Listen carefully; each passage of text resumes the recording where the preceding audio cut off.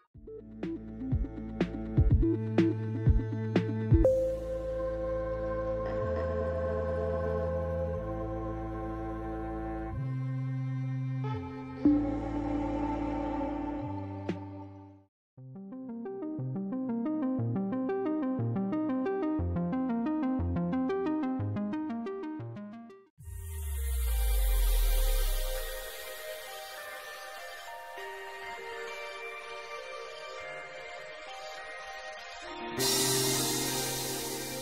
you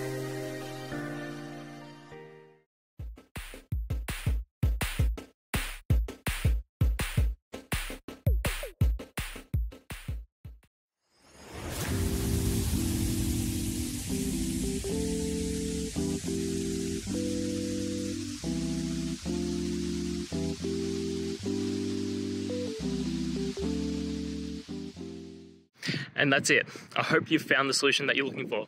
If you did, please hit subscribe. I'd really appreciate it. And until the next time that you need technical help, I hope you have a good one. Cheers.